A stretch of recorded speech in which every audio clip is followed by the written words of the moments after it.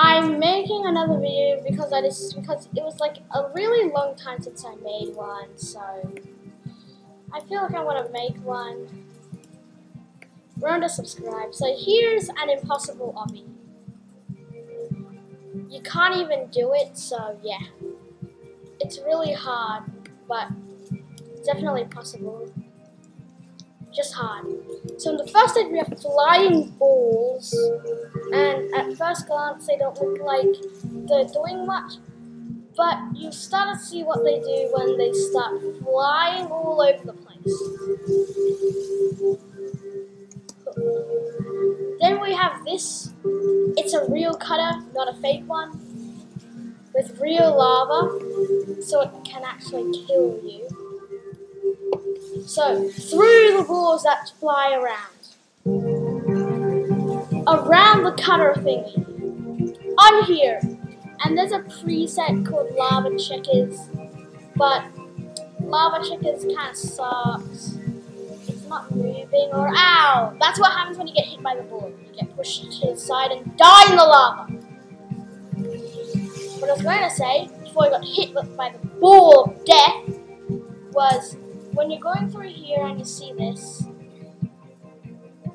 the checkers actually move. So it definitely adds a bit of difficulty to it. And then there you just, and then there you just die. Oh yes, Mr. Sprogy. Yeah, try it. You wouldn't get past the lava checkers, I know, I know. You wouldn't get past the lava checkers But even if you manage to somehow beat it, there's another catch there. So, if I just go through here, and then we have a fading walkway here. So I'm just going to go here. And if you do manage to do it, then you have this, fading walkway, and you get a checkpoint. Let's hop on. It's actually green lava, and it looks like a checkpoint. There is the other green lava. Right over here, it's a green lava. This is the obby ID, yay.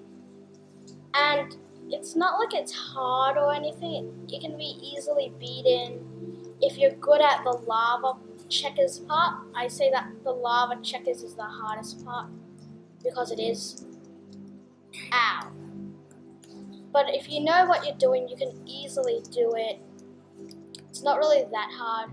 It's just sort of trolling. Bye everyone and subscribe.